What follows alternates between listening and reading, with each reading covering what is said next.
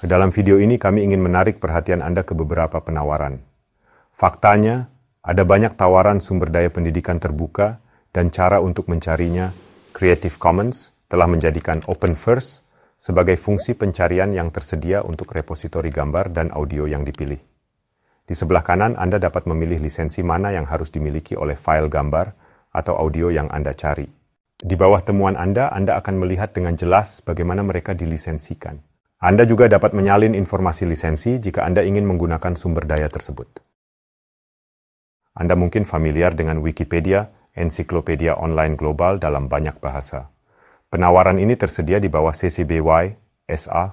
Dokumen kursus atau lembar kerja dapat dengan mudah dibuat darinya.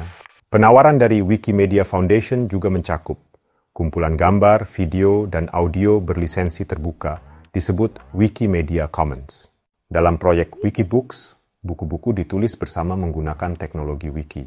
Wikiversity adalah tentang bahan pengajaran untuk universitas. Teks dan publikasi sering kali menjadi sumber-sumber daya pendidikan terbuka yang bermanfaat, terutama di pendidikan tinggi. Ada juga beberapa opsi pencarian untuk ini. Anda juga dapat menemukan sumber daya pendidikan terbuka melalui situs web yang mungkin sudah Anda gunakan. Ada video dengan lisensi terbuka di YouTube atau foto dan ilustrasi di bawah lisensi terbuka di Flickr.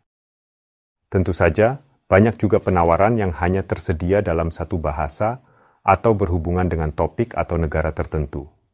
Ini bisa berupa koleksi di satu sisi, tetapi juga mesin pencari. Platform tempat Anda mengikuti kursus ini juga merupakan platform untuk sumber daya pendidikan terbuka. Semua kursus memiliki lisensi CC dan sebagian besar penyedia telah memilih lisensi terbuka. Jadi Anda tahu, ada banyak hal yang bisa ditemukan dan saya tidak ingin menunda Anda lebih lama lagi untuk memulai pencarian Anda.